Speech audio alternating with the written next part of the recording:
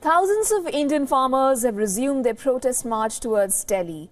The farmers are demanding a legal guarantee on the minimum support price on 23 crops, along with other policy changes.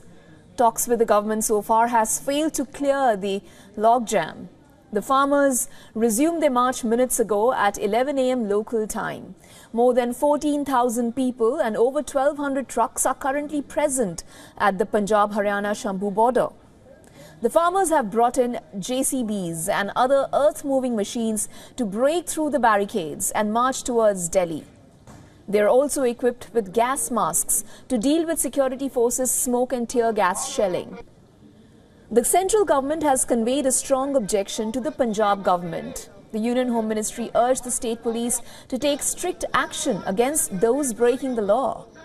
The state government has now placed a ban on movement of earth-moving machines towards the border.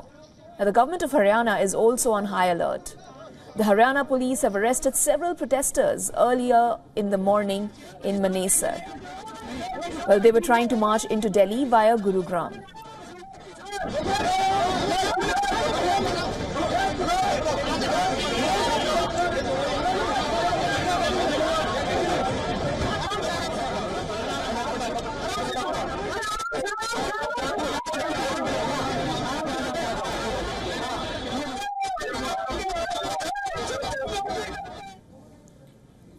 Now, the agitating farmers started their protest march earlier this month from India's northern state of Punjab.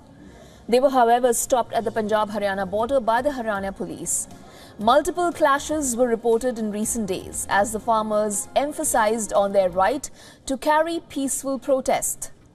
Now, at the fourth round of talks with the farmer leaders and government offered a proposal. The government offered to procure five crops at MSP under a five year contract through its cooperatives.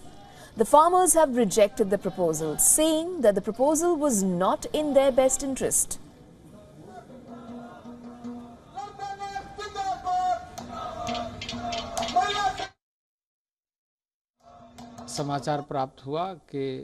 We got to know that the farmer leaders are not satisfied with our proposal but we should continue to engage via dialogue and strive towards finding a peaceful resolution.